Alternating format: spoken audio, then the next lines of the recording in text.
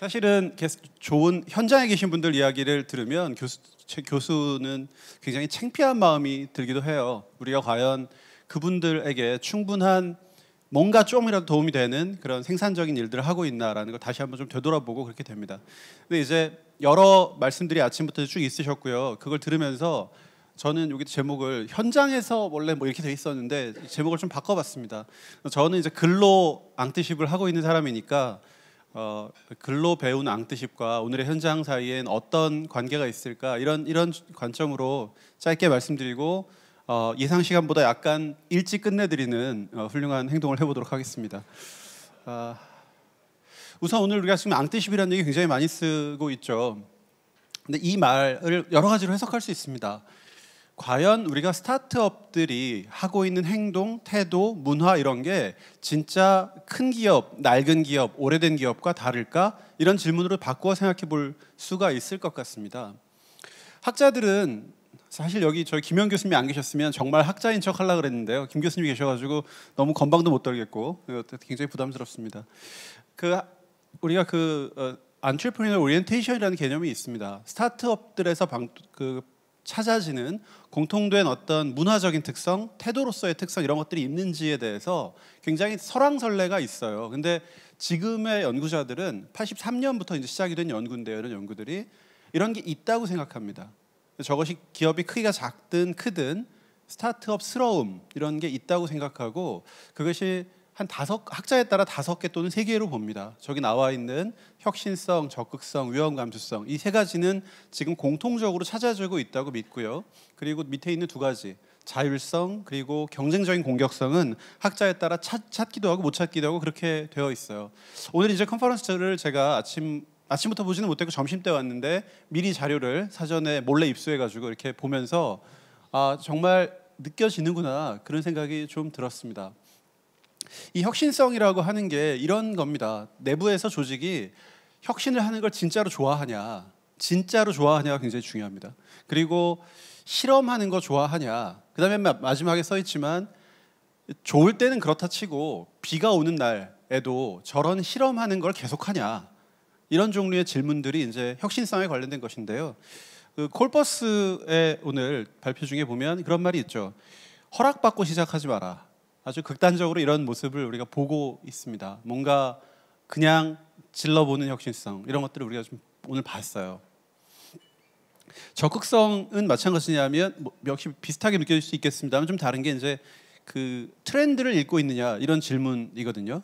그리고 맨 앞에 나가는 것이 그 겪는 어려움들을 알면서도 앞으로 가냐 이런 것들이 이제 적극성이라는 질문인데 우리 캐럿 글로벌의 문장 중에 제가 아, 굉장히 흥미롭게 읽은 문장이 이런 문장이 있었습니다. 역시 굉장히 비슷하다 이런 느낌을 많이 받았고요. 또 이제 적극성, 아, 위험 감수성이라는 게 있죠. 이거는 근데 사람들이 흔히 가장 오해 많이 하는 생각입니다. 스타트업들이 위험한 걸 좋아한다고 생각하는데 실제로 그런 뜻은 아닙니다. 학자들이 생각하는 위험 감수성은 위험을 계산하면서 하고 알면서도 한다라는 뜻에 가깝습니다. 그런 게 위험 감수죠. 그런 얘기들도 오늘 굉장히 많이 들었습니다. 이 이야기들은 아마 많이 알려져 있을 거예요. 우리가 앙트십 그러면 세 가지 이야기하는 분들이 굉장히 많죠. 근데 최근에 특 2001년도 이후에 학자들이 또 한 가지 어, 관심을 가지게 되었습니다. 이 안트레프너들 혹은 스타트업들의 의사결정 과정이 일반적인 기업과 좀 다르다. 하는 이론이 있습니다. 우리가 그것을 이펙츄에이션이라고 부르고요. 아직 우리말 번역이 없어요. 그래서 제가 해봄 이렇게 쓰기도 하고 뭐 실행 이렇게 쓰기도 합니다. 이게 그 사라시바스라고 하는 학자가 만든 생각인데요. 그 최근에 경영학 분야에서 가장 많이 인용되는 논문 중에 하나이기도 하고 가장 논쟁적인 주제이기도 해요. 요거 간단히 말씀드리면 이런 겁니다. 우리가 그동안 전통적으로 어떤 일을 한다, 일을 되게 하자 그러면 먼저 목적을 정하고요. 여러분들 잘 아실 겁니다. 기업이 목적을 먼저 정한 다음에 그걸 어떤 수단으로 할 거냐 이렇게 생각하죠. 그 전형적으로 우리가 문제를 푸는 방식인데요. 스타트업들을 케이스를 쭉 살펴보니까 흥미롭게도 되게 많은 기업들이 이렇게 안 한다는 겁니다. 좀 웃기게 들리겠지만 이렇게 한다는 거예요. 자기가 가지고 있는 리소스들, 지금 내가 가지고 있는 어떤 것으로부터 이걸 가지고 미래를 어떻게 만들 수 있겠냐 이렇게 생각한다는 거예요. 그러니까 목표를 굳이 정확하게 정하는 것이 아니라 내가 지금 가지고 있는 것들로부터 미래를 어떻게 만들어 볼까 이렇게 생각한다는 겁니다. 이게 조금 이해가 잘 안 가시면 이렇게 생각해 볼 수 있어요. 집에 손님이 오기로 하면 그래서 3시쯤에 전화를 받습니다. 집에 손님이 때로 온다. 그럼 여러분들은 음식을 어떻게 하시겠습니까? 음식을 해야 되는 상황이면. 아, 맞습니다. 배민의 예약을 하면 돼. 배민의 주문을 하면 됩니다. 그게 우리가 문제를 푸는 바른 자세가 되겠습니다. 네, 우리는 그렇게 해야 됩니다. 근데 반드시 음식을 해야 되는 경우라면 첫 번째 방법은 레시피를 먼저 아 물론 플레이팅도 있어요. 되게 많은 방법이 있군요. 그 먼저 요리를 할 목록을 정한 다음에 필요한 재료를 사러 나갈 수 있겠습니다. 그게 전통적으로 기업이 하는 방식이라는 거죠. 어떤 요리를 사람들이 좋아할까 뭐 이런 식으로 생각하는 거예요. 근데 그 사라스와스의 이론에 따르면은 아 죄송합니다. 스타트업들은 이렇게 한다는 거죠. 냉장고를 열어서 그 안에 있는 것들로부터 음식을 시작한다는 거예요. 이렇게 해본 적 있지 않으시나요? 예, 이런 게 이펙츄에이션이라는 이론입니다. 굉장히 많은 스타트업들이 실제로 지금 위치를 처음부터 생각하지 않았다는 거죠. 뭔가를 하면서 한 발씩 나가서 지금을 만든다는 거예요. 근데 생각해보면 이거 좀 겁나는 일입니다. 왜냐하면 이렇게 음식 하다 보면 듣도 보도 못한 음식을 만드는 수도 있고요. 음식을 하다가 망치는 수도 있습니다. 네, 물론 또 부작용도 있어요. 이런 짓을 하려면 냉동실 안에 뭐가 있는지 발견하게 되는 수가 있는데 굉장히 고통스러울 때가 있죠. 네, 저는 집에서 한두 번 그런 거 꺼냈다가 혼난 적이 있습니다. 그래서 이 이펙츄에이션 이론을 조금 더 발전시키면 한 다섯 가지 정도로 이사결정의 원칙들을 설명할 수 있다고 해요. 하나는 어, 지금 가지고 있는 것부터 시작하게 아까 말씀드렸죠. 이 bird in hand principle이라고 그러는데 쏘카 아까 보니까 우리는 맨 땅에 헤딩하는 데서 시작했다 이렇게 얘기하거든요. 그냥 사람들이 자기가 가지고 있는 별것 아닌 것 가지고 무조건 시작하자. 두 번째가 굉장히 중요한데 이게 사실은 대기업들이 하기 참 어려운 일입니다. 잃어도 되는 범위를 정하고 시작하자.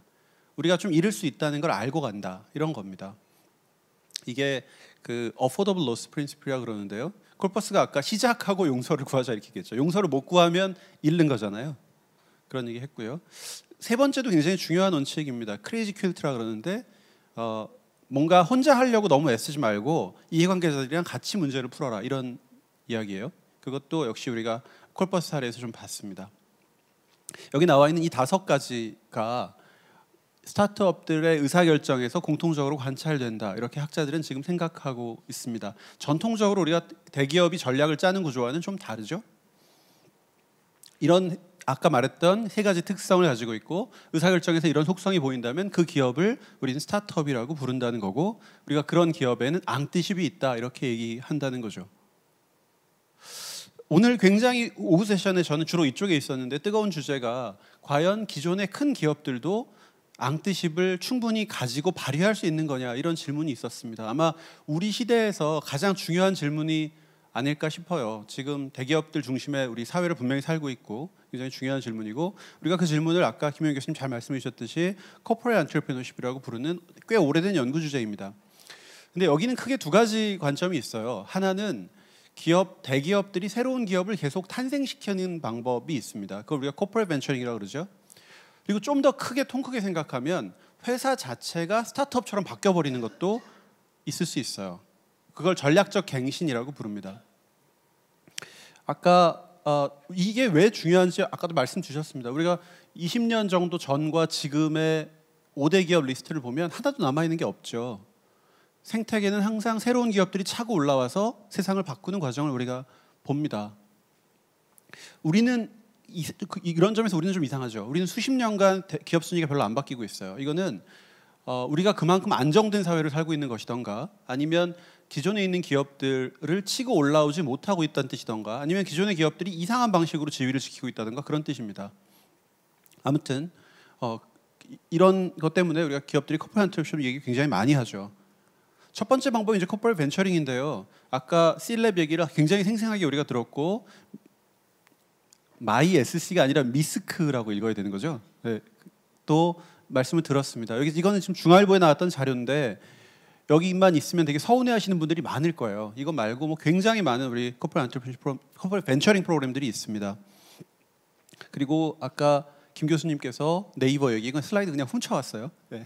그 해주셨습니다. 근데 제가 한 가지 우리 이 과정에서 갖는 의문은 하나 있습니다.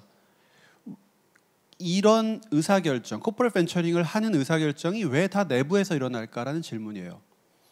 무슨 말이냐면 코카콜라의 뭐 Founders 프로그램이라든가 아니면 소니가 하고 있는 First Flight라는 프로그램 같은 것들은 financing도 외부에 의지해 보기도 합니다. 그러니까 투자를 하는 의사결정을 꼭 내부에서 해야 되냐라는 질문을 한번 생각해 보실 필요가 있다고 저는 생각해요. 왜냐하면 시장에서 내, 외부 자본 시장과 내부 자본 시장은 꽤 다른 속성을 가지고 있습니다. 내부 자본 시장 의사결정은 다른 이유에 의해서 의사결정이 일어날 수 있어요. 그래서 우리 아직은 우리나라의 코퍼레 벤처링 프로그램은 외부 자본을 사용하지 않는다는 점은 해외 여러 사례들과 조금은 차이가 있다 이렇게는 생각이 됩니다. 그리고 또 한 가지는 아까 말씀드렸지만 더 큰 질문은 사실 우리가 새로운 사업을 만들어내는 것뿐만 아니라 그런 과정을 통해서 대기업이 스타트업처럼 바뀔 수 있겠냐 스트레티지 리뉴얼이라고 부르는데요. 그런 질문이죠. 이건 아까 잘 말씀 많은 분들이 말씀 주셨는데 어찌 보면 대기업의 전략이 여기 안 나온다 그랬죠. 전처럼 이렇게 전략을 세워서 열심히 실행한다가 아니라 다양한 내부의 활동들로부터 전략을 구사하는 방식으로 바뀌게 된다는 인정일 수도 있고요. 그리고 우리가 지금 하고 있는 사업이 언제든지 재구성될 수 있다고 믿는 믿음 이런 것들로부터만 가능한 일이에요. 근데 학자들이 이제 그런 연구를 했습니다. 다 좋은 얘기다. corporate venturing도 좋고 strategic renewal도 좋은데 과연 기업이 corporate entrepreneurship을 발휘하려면 두 가지 활동을 하려면 도대체 뭐가 필요하냐 하는 연구가 굉장히 많이 있습니다. 근데 대충 합의가 이런 거예요. 첫 번째로는 work discretion입니다. 그 일하는 사람들로 하여금 의사결정하게 해라. 아까 C랩에서 홀라크라스 말씀도 주셨고 스태핑도 스스로 하라. 좋은 말씀이고 네이버에도 우리가 그런 사례를 봤습니다. 그렇죠? 실제로 그런 원칙을 쓰고 계신 거고요. 두 번째는 성과하고 보상, 보상하고 강화하는 프로그램 매우 중요하다고 아까 우리 그 박영은 어, 팀장님 어디 계시죠? 네, 가셨나요? 네, 그 새롭게 탄생한 우리 박영, 사진과 매우 다른 박영은 팀장님께서 어, 이 reward reinforcement를 굉장히 강, 많은 질문을 해주셨어요. 그렇죠. 근데 실패를 용인하는 파격 보상을 한다. C랩이었고요. 또 미스크에서 작은 성공 사례를 도출하는데 그게 중요합니다. 조직 내에 도움을 받으려면 이게 굉장히 필요하다. 이런 말씀해 주셨습니다. 그 다음에 아까 저녁이 있는 삶 얘기도 나왔었는데 어, corporate entrepreneurship 이루어지려면 time availability 참여하는 사람들에게 시간의 유용성이 굉장히 필요하다 하는 것이 학자들의 공통적인 생각이고 우리 C랩에서 재량 근류제 말씀을 하신 것이 정확히와 일치합니다. 그리고 조직 간의 경계 말씀을 주셨는데 저는 그런 면에서 김정태 대표님 말씀이 너무 고맙습니다. 왜냐하면 사실은 코퍼레 벤처링, 코퍼레 안트프레시 이루어지려면 기업 간의 경계를 넘어 다녀야 됩니다. 제가 늘 말씀드리는 건데 우리가 마루 180이나 아니면 이런 데 가보면 여러 기업들끼리 그냥 칸막이 없이도 막 같이 있잖아요. 근데 삼성 종기원에 가보면 수없이 많은 보안 절차를 거쳐야만 들어갈 수 있죠. 조직 간의 경계의 두께가 굉장히 다른 겁니다.